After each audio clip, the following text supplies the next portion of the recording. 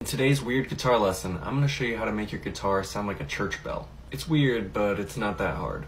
Take your guitar pick and put it below the E string, but above the A string, like this.